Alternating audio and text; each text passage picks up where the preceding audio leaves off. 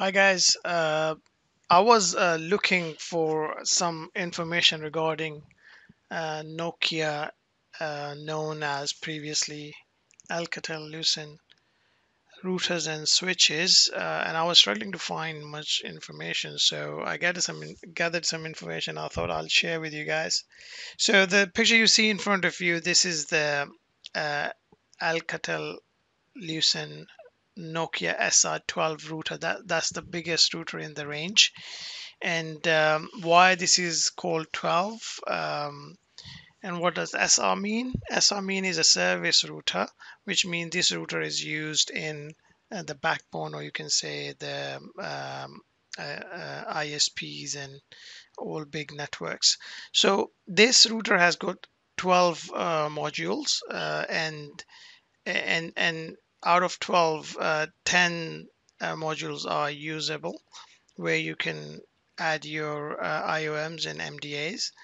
Now, IOMs are the devices, input output devices, and MDAs are the modules going on top of that. And then you can have um, fiber uh, SFPs connected to them. Now, when when once this router is um, running in full uh, duplex and all the 10 IOMs are connected, it can go up till uh, 400 um, it can it can run up to 400 Gbps I believe uh, 400 Gbps or full duplex uh, um, and it can provide 400 Gbps throughput basically. Now this this this is this is a beast and uh, this is the biggest router in the range.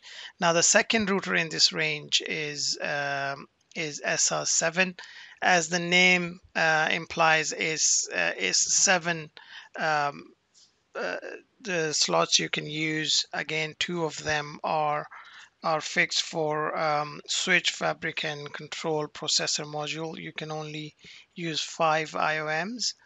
Uh, and uh, th this is the smaller version of that and it, it, it's again very powerful router now the next one in is the SR1 now SR1 is a, a fixed uh, form uh, small chassis router basically.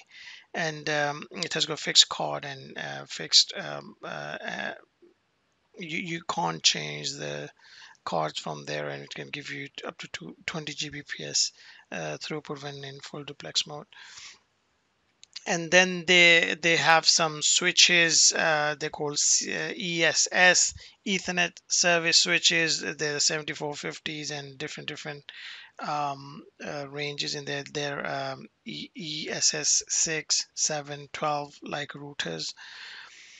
Now um, to understand it more easily uh, this, this, this is another um, uh, picture of the switches basically. This is ESS 6 and ESS 7 again the five slots are usable.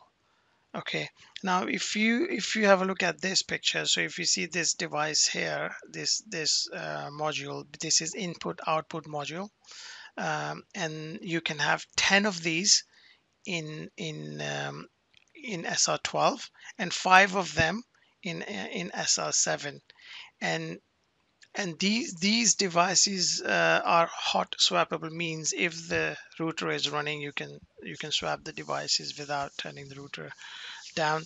And then uh, you have on top of them uh, MDAs um, so if you see these are the MDAs and and you can connect fiber SFPs to these uh, uh, MDAs. Now on these SFPs, you connect the fiber, the, the, the fiber cable basically, fiber optic.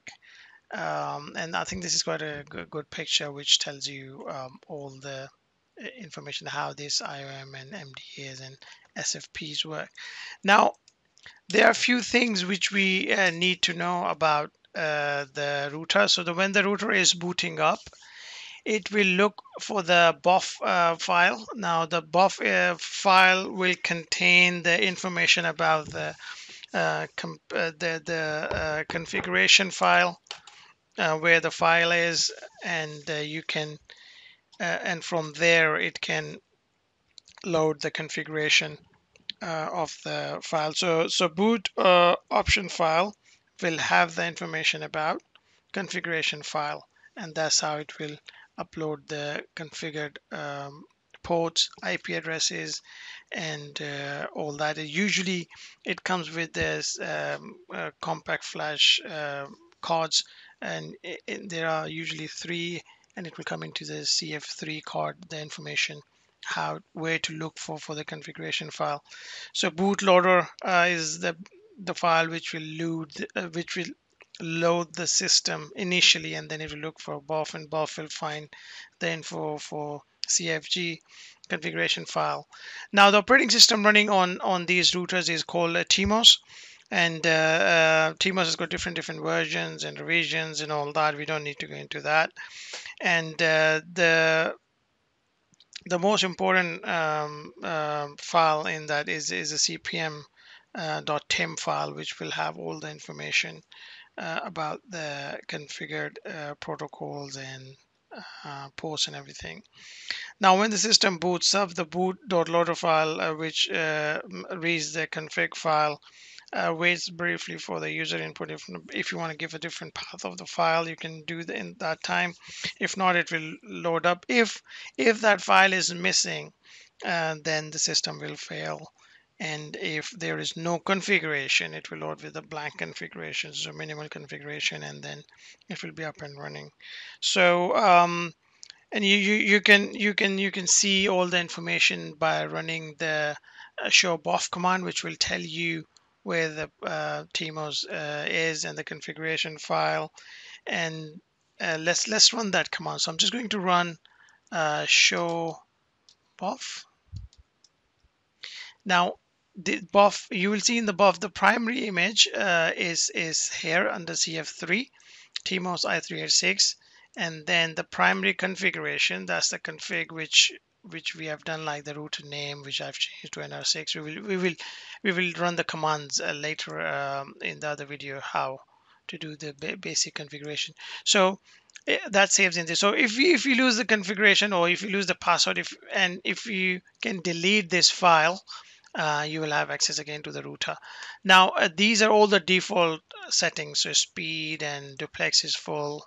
Um, so you don't have to change any of these until there is there is a reason. Now the persist thing is off.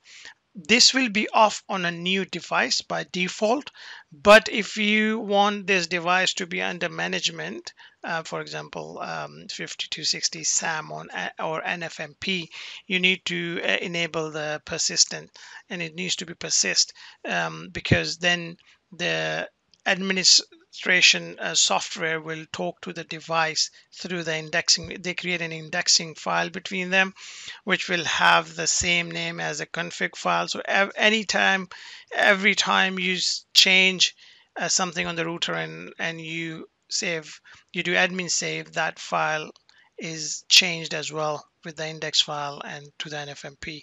So um, this is the basic information. Now in the next uh, few videos, we're going to run some commands and see how we can configure uh, this router.